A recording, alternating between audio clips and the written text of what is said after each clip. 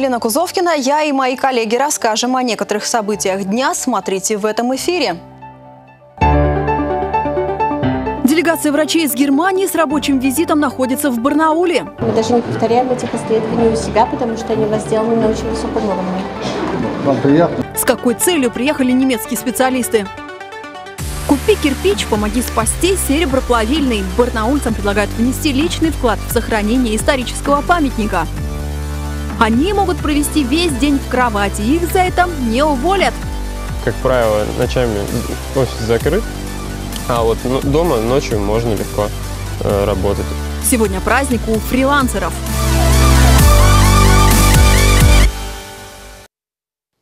Алтайский край станет площадкой для международного обмена врачебным опытом. Сегодня с деловым визитом в Барнаул приехала немецкая делегация. Врачи из Гамбурга посетили онкологический, кардиологический диспансер и диагностический центр. Наша съемочная группа присоединилась к экскурсии. Асад Кутуб, хирург из Гамбурга, узнает у специалистов Краевого диагностического центра все детали их работы. Для знакомства с алтайским медицинским кластером у гостей всего день. Они приехали, чтобы посмотреть, как работают аналогичные с немецкими больницы здесь, на Алтае. Сказать, что принципиально те пациенты, которые в Гамбурге приходят also непосредственно с вашими диагностическими, так сказать, полностью соответствуют абсолютно нашим представлениям. Да? Мы даже не повторяем этих исследований у себя, потому что они у вас сделаны на очень высоком уровне. Кстати, пациенты с Алтайской земли там не редкость. Петр Мюллер, онколог с многолетним опытом работы, рассказал, что недавно им удалось вылечить 16-летнюю пациентку. Она стояла в очередях на осмотр, даже проходила лечение. Но ее опухоль у нас признали неоперабельной. Сейчас девушка, к счастью, здорова. Der Kollege Kutub sie dann operieren konnte. Я хочу сказать, что mm. если в самом начале она считалась абсолютно неоперабельной и пациенткой без абсолютных шансов, то в конце лечения нам удалось полностью развернуть ситуацию на 180 градусов. И абсолютно неоперабельная опухоль оказалась операбельной, и господин доктор Кутуб also, очень квалифицированно и чрезвычайно успешно also, смог прооперировать эту пациентку. Гости из Германии приехали, чтобы договориться о будущих рабочих отношениях со специалистами из Алтайского края. Кота в мешке брать не хотелось.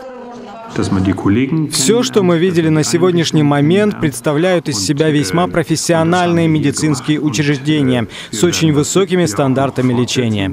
В связи с этим хочу выразить всем коллегам в Алтайском крае свою глубокую признательность и выразить признание их высокого профессионализма. Мы готовы пригласить к себе коллег из Российской Федерации, чтобы показать те стандарты медицины, которые есть у нас, чтобы они могли вжиться в эти стандарты и адаптироваться адаптировать их здесь. В планах развития международной телемедицины, а также стажировки наших врачей в стенах немецких клиник. Такое обучение будет полезно и коллегам из Германии. Особенно это касается хирургической практики. В свою очередь, медики края надеются таким образом удержать молодых специалистов на родине.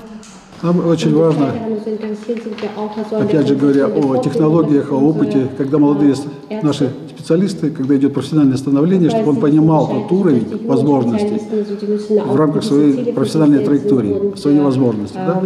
То есть есть клиники Алтайского края, есть российского масштаба. Мы готовы открывать ворота с помощью коллег Немецкая делегация провела в наших больницах весь день. Врачи познакомились с работой каждого отделения онкологического, диагностического и кардиологического центров. Пока только решили, что сотрудничеству быть. О планах еще будут говорить. На Алтае немецкие врачи будут и завтра хотят полюбоваться красотами Телецкого озера. Дарья Демиллер, Александр Антропов. День с толком. А вот барнаульская семья просит помощи у неравнодушных горожан. Молодая пара воспитывает ребенка-инвалида с диагнозом ДЦП. В 4 года мальчик не может даже самостоятельно стоять. Для разработки мышц нужны постоянные тренировки, но специальные ходунки семье не по карману. Так маленький Богдан выражает интерес или недовольство. Руками четырехлетний малыш управляет лучше всего, а работу целого организма контролирует мама. Бульбарный синдром, мокрота скапливается постоянно в легких, бронхах. И она не отходит до конца, не может он откашлять, она густая сильно. И мы для этого дышим, чтобы разжижить ее. Дышит паром мальчик по нескольку раз в день. После этой процедуры у него получается глотать. И еще мама помогает Богдану держать голову. И она же, как правило, держит игрушки. Ребенку сложно, а потому неинтересно. У нас вообще игрушки как бы никак. Ну, не, не рассматривает их. Он берет, даешь ему в руку, он берет и сразу тоже отпускает. Вы должны с ним быть круглосуточно. Да, да, да. Что он сам не отвлекается. С осложненным ДЦП мальчика семья вот уже 4 года справляется сама. Со слов мамы, даже положенную помощь, например, смеси, выбивала через суд. А сейчас Олеся все чаще мечтает о первом шаге сына. Но предоставляемые ходунки ему не подходят, ведь он не держит равновесия, а других не предлагают. Вот в Алтайском крае, в федеральной вот в этой, что нам они предоставляют бесплатно, сказали нету. Они мне в компьютере открыли перечень этот и сказали, что нету. А я говорю, а если платно мы приобретем, сколько возместится? Они сказали 2000. Стоит специальная опора около 140 тысяч рублей. Для семьи, в которой работает один отец, а пенсия ребенка идет на лечение, сумма непосильная. Поэтому семья мальчика просит барнаульцев помочь купить нужные ходунки, чтобы ребенок встал на ноги. Мама и папа Богдана будут благодарны любым пожертвованиям.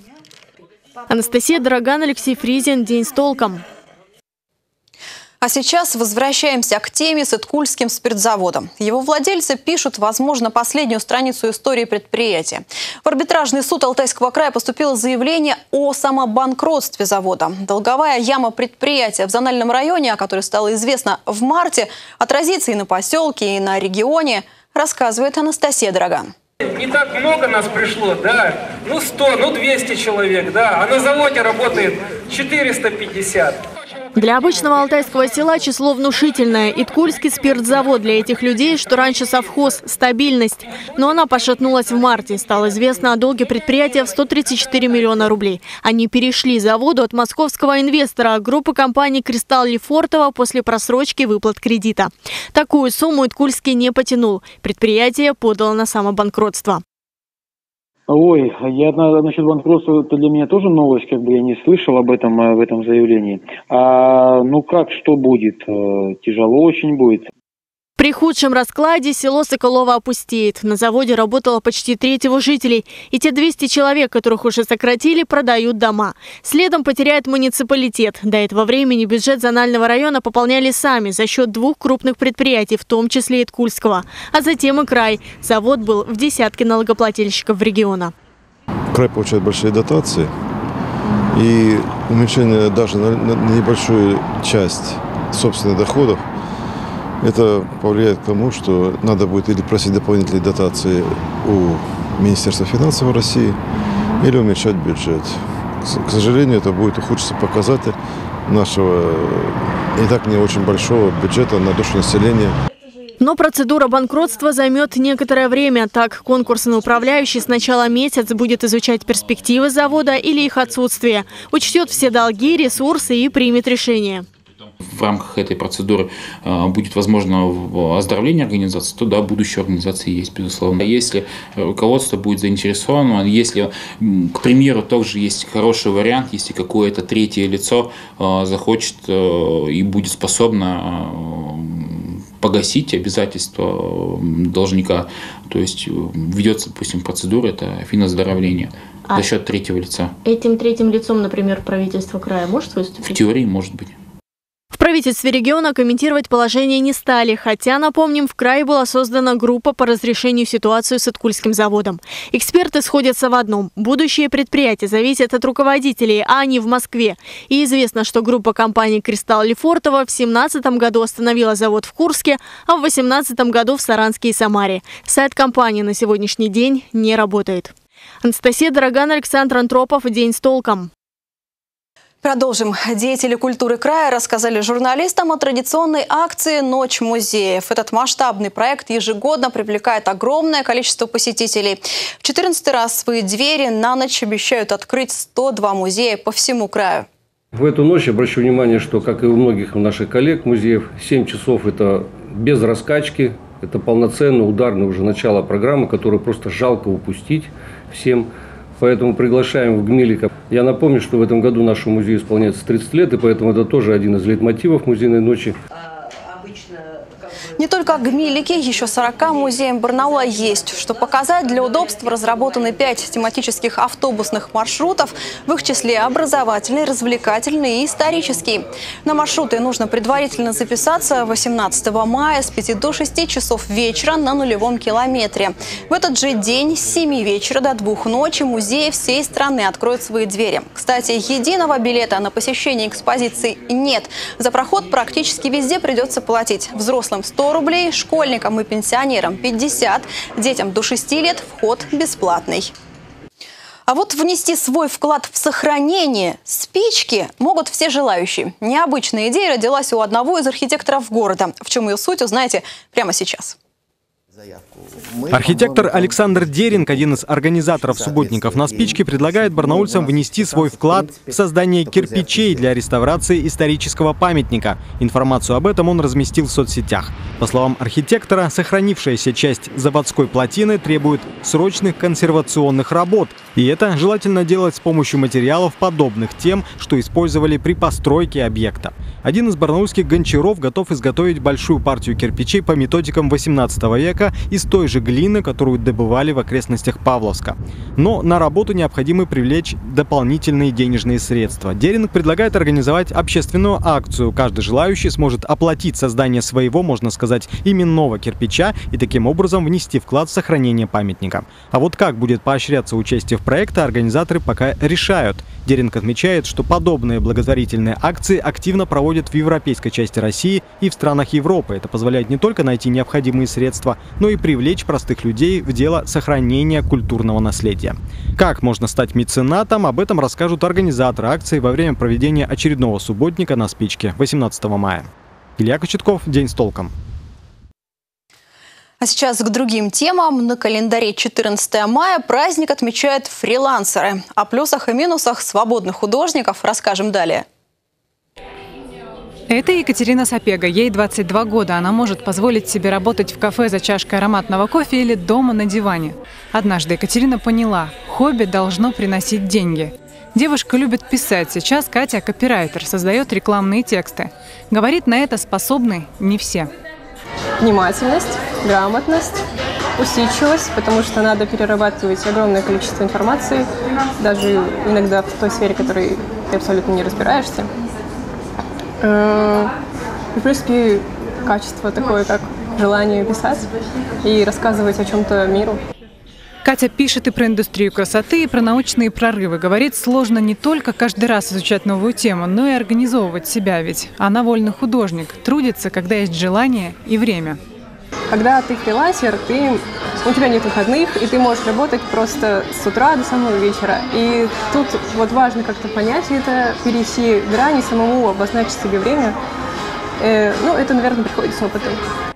Нашему второму герою этого опыта не занимать. Он работает на фрилансе уже четвертый год. Илья Коломеец с детства мечтал стать программистом, хотел пойти по стопам отца. Сейчас разрабатывает программное обеспечение днем на официальной работе, а по ночам пишет курсовые и дипломные для студентов за деньги. Мы, как программисты, любим работать по ночам. То есть нас никто не отвлекает, и мы сидим, работаем. Продуктивность кажется нам выше. А, и нам, ну, то есть в офисе как правило, ночами офис закрыт, а вот ну, дома ночью можно легко э, работать. Также э, ты сам решаешь, какую работу тебе брать, а какую не брать. Сегодня профессиональный праздник отмечают люди разных специальностей. Копирайтеры, программисты, журналисты, художники. Все они работают на фрилансе, то есть сами на себя и для себя. Этот день в России празднуют недавно, с 2005 года. Именно тогда была создана одна из первых в нашей стране бирж вольных стрелков – портал «Фриланс». Екатерина и Илья, кстати, тоже имеют свои аккаунты на подобных порталах и точно знают, что никогда не посвятят себя полностью одному и официальному делу. Дарья Демиллер, Илья Петров, Александр Антропов. День с толком. Через несколько секунд о погоде. Спонсор прогноза Банк Восточный. А у меня на этом все новости. До встречи в эфире.